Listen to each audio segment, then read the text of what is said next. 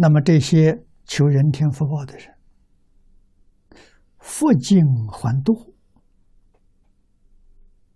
后患无穷。这一句，这一句要记住啊！佛尽了，你要堕落啊，堕到哪里去？堕三途啊！啊，一入三途，后患无穷。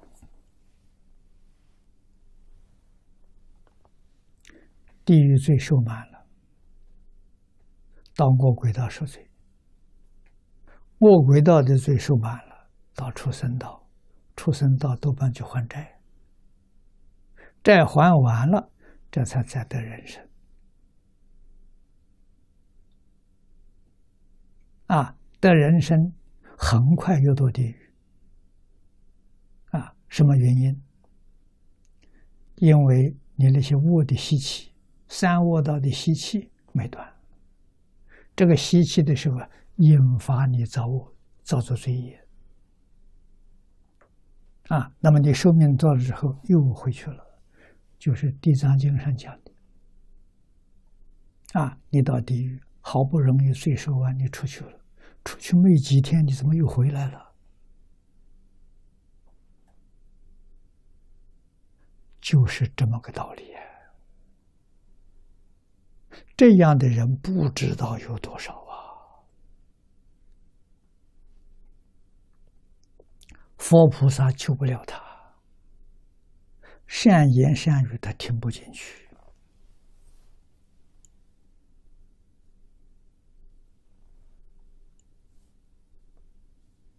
啊！命中之后，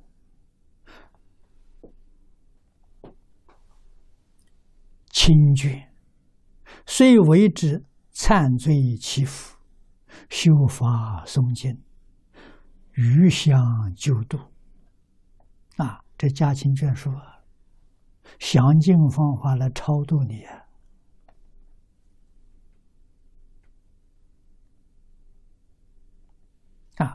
但必之邪见更深，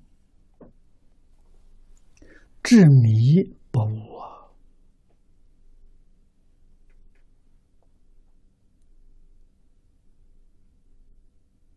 啊！因邪见业往，未能舍离；以邪见故，不生正心。啊，这是我们先前所看到的。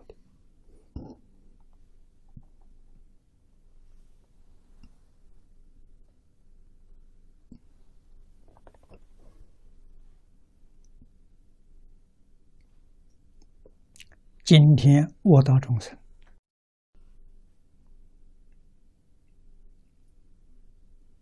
鬼神道里头的，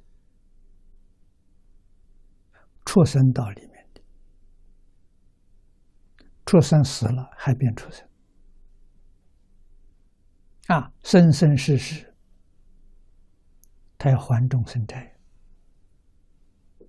很不容易脱离畜生身。啊，在先前这个时间，他们受的罪，差不多也受尽了，也就快受完了。所以闻到佛法，他能信，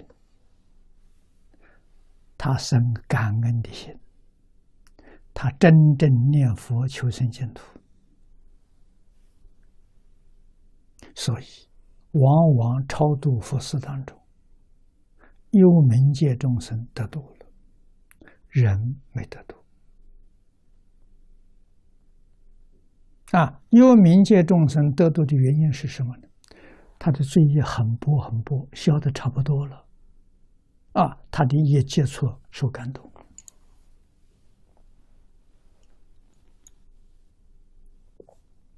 所以他比人好多。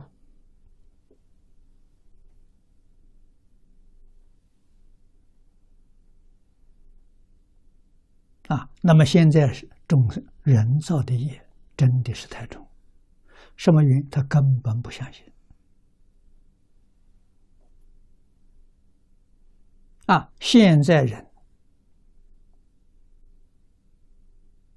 价值观、宇宙观，都是认为只有一世，没有来世。啊，你说来世，说因果报应，他说那是封建时代那些帝王骗人的，啊，吓唬人的，便于统治。啊，那不是真的。是天天造作罪业，他不在乎。啊，虽然报应就在眼前，他自己见到，自己接触到，他不信他不以为那是报应的，这迷到这种程度。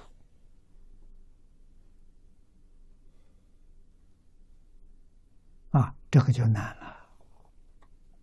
必须要什么？必须要他经历地狱恶鬼出生。啊，就像现在有冥界众生一样，要经过很长时间，再遇到佛法，他相信的。啊，这不断在循环、循环、重复的在演。啊，我们把这个事实真相看清楚了，看明白了。